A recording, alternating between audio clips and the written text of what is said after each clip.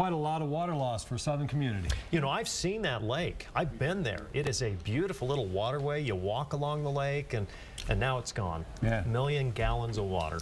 Yeah, Wow. Need some repairs. Well, we had some uh, water falling today from the sky. It's the first time we've had any real significant rain here in the Salt Lake Valley since about June 17th. Most reports have been uh, about a tenth of an inch to 15 hundredths, although we've had a report of as much as eight tenths of an inch around Monticello. We've had some flash flooding in some areas of southern Utah, but that's what it looked like from the Shriners Hospital. Right up there on the high Uintas. What beautiful pictures of the Salt Lake Valley. Okay, let's take a look at another picture. This was taken on the 16th of, of this month. So it's a couple of days old, but this is Emerald. So there's still a little bit of ice on the lake. We want to thank Ben Shee for sending a picture of the beautiful area up there below Timpanogos Peak. Now we are back up to 93 after we dropped to 81 when the thunderstorms rolled through.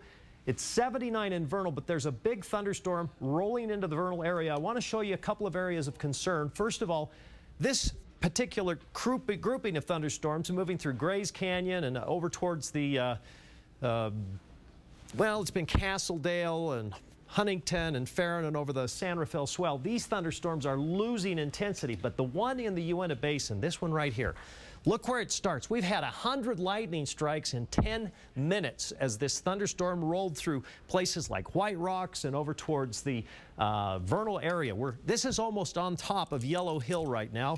You can see the uh, Lake area, Lapoint, Tridell, White Rocks been hit hard. This thing is moving right into Vernal. So folks, it's had a history of producing large hail and very, very heavy rain. Showers and thunder showers that move through the Salt Lake Valley have now kind of moved into Park City, and so we're not seeing nearly the amount of rain in the Salt Lake area, and it looks like most of the thunderstorm activity is over with for now along the Wasatch Front. 97 the high in Salt Lake City today, 109 Vegas. It was 106 in St. George today, so a very hot day. And then the thunderstorms rolled in and we saw some heavy rain and occasional lightning, severe lightning in a few cases, dangerous. You don't want to be outside in the lightning and uh, certainly don't want to be a lightning rod. Jet stream brings in slightly drier air tomorrow. It'll moisten up a little bit across the south on Friday. We'll see dry air here in the north, but hot. Temperatures like 91 in Vernal. Still a chance, a slight chance for th that big thunderstorm in the next hour or two. It'll move away. Tomorrow's a better day. We'll still see a slight chance, though, for some thunderstorms across southern Utah. Very isolated in the mountains and across the south. 102 in St. George tomorrow and about 100 on Friday. 106, 107. Hot weekend with more thunderstorms possible Tuesday and Wednesday of next week. And for the Wasatch Front, we're going to have a cooler, nicer day. Still a real slight chance for a thunderstorm tomorrow, mainly near and over the mountains.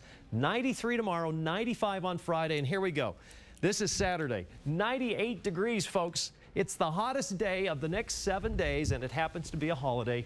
Then next week, we'll look for slightly cooler and a chance for a few more of those monsoonal thunderstorms Tuesday and Wednesday. Looks good. Thank you, Dan. You are welcome. And we'll be right back.